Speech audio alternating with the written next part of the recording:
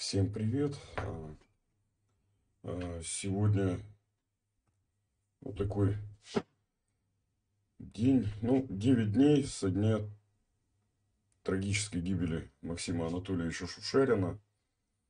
А, Максим Анатольевич был ну, совершенно замечательным человеком и просто не могу не сказать о нем теплых слов. То есть, ну, наверное,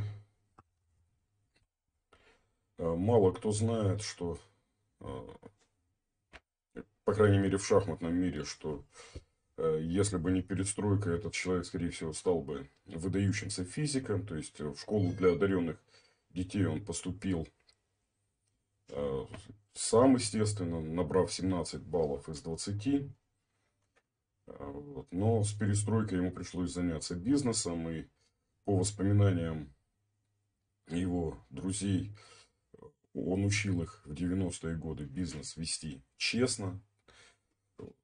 И в 2015 году он стал президентом Челябинской областной шахматной федерации и э, контролировал работу вообще по всем направлениям. То есть даже положение, закорючки в положениях, то есть все старался вчитываться, подправлять, если считал, что нужно исправить человек был очень увлеченный и очень любил шахматы. То есть он э, сыграл в одном из турниров из своих по быстрым шахматам и рассказывал мне, как он доволен тем, что удается набирать очки. Э, один из первых людей, которые начали турнир, проводить турниры в, в пандемию, то есть а по сути первый человек, который проводил массовые турниры, э, тогда, когда никто э, за это не брался. Э, занимался развитием шахмат именно в Челябинской области просто по огромному количеству направлений, то есть и командные соревнования, то есть команды Южный Урал, мужская, женская, завоевывали ему массу кубков.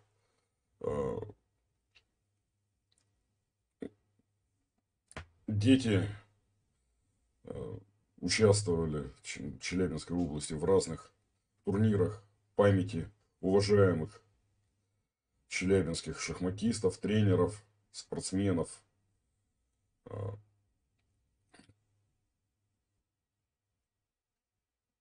И при этом э, вот более уважительного к шахматистам отношения от функционеров я, пожалуй, ну, вот э, не могу сказать на вскидку, от кого я э, встречал. То есть, исключительно вежливый, корректный, доброжелательный.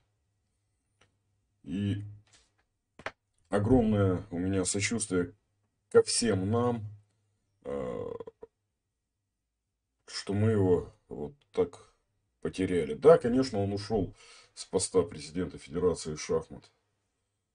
Челябинской области в этом году, но у него были огромные планы, и я лично надеялся, что когда пройдут вот эти какие-то трудности, он все-таки вернется и свои планы э, по э, турнирам, которые он запустил, он все-таки воплотит в жизнь, пусть там не через год, через два, через три.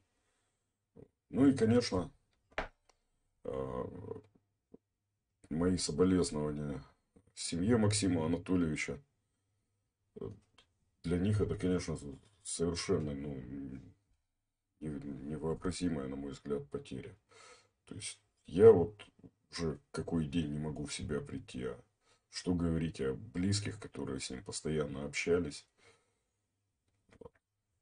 Все, спасибо за внимание. Человек был совершенно выдающийся.